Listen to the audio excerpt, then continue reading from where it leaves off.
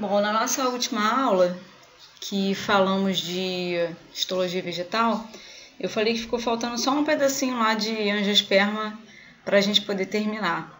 Então, a gente vai falar agora de monocotiledones e dicotiledones, que na realidade é uma variação das angiospermas, que são os vegetais superiores que têm frutos, né, que têm todas as estruturas vegetais.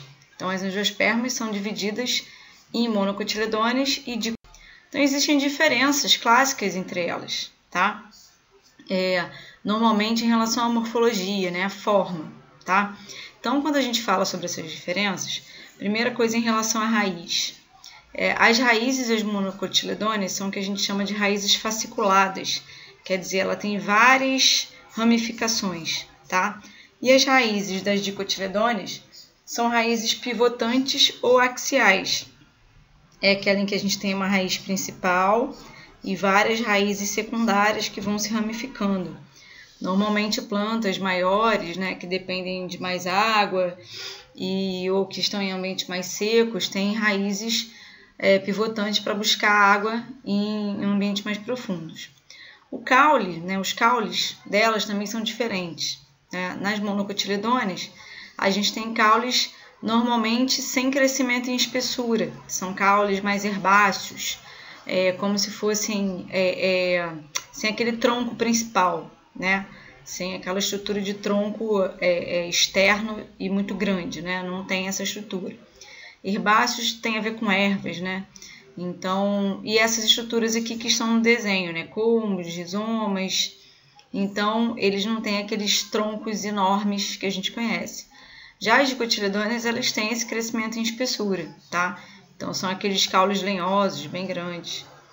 É, e por dentro, né, a gente consegue ver que nas monocotiledôneas a gente tem feixes vasculares dispostos irregularmente. O que, que é isso? Feixes vasculares são as passagens de vasos condutores, né? Então, eles não têm muita organização, né? Que são, no caso, xilema e floema. Já os vasos de dicotiledones, os feixes, né, são todos dispostos em círculo nas extremidades do tronco. É, as folhas também são bem diferentes. As folhas das monocotiledôneas têm uma bainha bem desenvolvida, tá? Bainha, então, essa parte anterior, que a gente chama vulgarmente do cabo, né? É, então, ela, ela se prende é, num tronco principal, né, num galho, com essa bainha que é mais comprida, mais desenvolvida, tá? Diferente da bainha das dicotiledôneas. E as, as nervuras das folhas das monocotiledôneas são paralelas, então são, são nervuras, nervuras é essa parte do centro da folha, elas são paralelas. No caso das dicotiledôneas, elas são reticulares, tá? Ou perinérvias, que a gente chama assim como nas monocotiledôneas chamamos também de paralelinerves. Tá vendo? Essa, essa, essas nervuras são clássicas quando a gente precisa desenhar alguma folha. A gente faz aquela nervura principal e nervuras secundárias, então são as reticulares ou perinerves. As flores das monocotiledôneas têm sépalas e, e pétalas normalmente organizadas em base de três, tá? Então a gente diz que elas são trímeras. Então, três ou é, múltiplos de três, tá? Tanto pétalas quanto sépalas.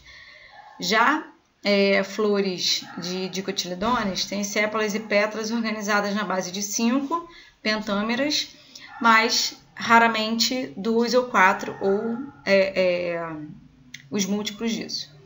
As sementes das monocotiledôneas, a gente diz que elas são monocotiledôneas por isso, porque ela tem um cotilédone.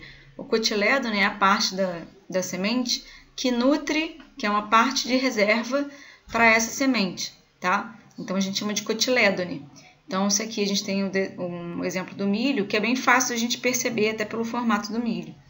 E as dicotiledôneas são chamadas de dicotiledôneas porque possuem dois cotilédones, que é o exemplo aqui do feijão, que também é fácil a gente perceber. Então, aqui só para vocês verem a diferença né, entre as raízes fasciculadas e pivotantes.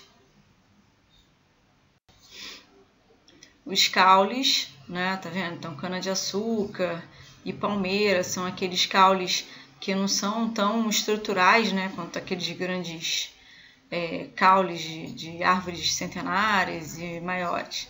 E aqui o caule normal, tipo tronco, que a gente está bem acostumado a, a, conhecer. Aqui as folhas, né, paralelinérvias que eu falei, e ou perinerves das dicotiledôneas, tá? Então é bem comum ser usado, serem usados esses nomes. E as flores, né? A estrutura das flores, com flores é, trímeras, né? ou múltiplas de três. E no caso de dicotiledôneas, normalmente dímeras, tetrâmeras ou pentâmeras. Vai depender realmente do tipo de flor que a gente estiver vendo. E os cotilédones, né? Então aqui a gente tem o milho, o cotilédone é essa parte que envolve o embrião, tá? Então ele é uma reserva nutritiva para esse embrião. E no caso dos dicotiledôneos, a gente tem dois cotilédones. Então, uns exemplos que são fáceis da gente perceber, né, as monocotiledôneas, principalmente as que são mais gramíneas, então trigo, arroz, milho, cana, centeio, sorgo e cevada. É, muitas vezes a gente não vai lembrar de cabeça tudo, né? Então vale vocês verem aquelas características talvez seja fácil vocês lembrarem, né? A cana, vocês sabem que o, o, tronco da cana é aquele tronco clássico, né? Que é o que a gente realmente come da cana, né? Então tem como lembrar que ela é monocotiledônia. E as dicotiledôneas, normalmente as leguminosas. Feijão, soja, ervilha, lentilha, grão de bico e o amendoim, tá? São alguns dos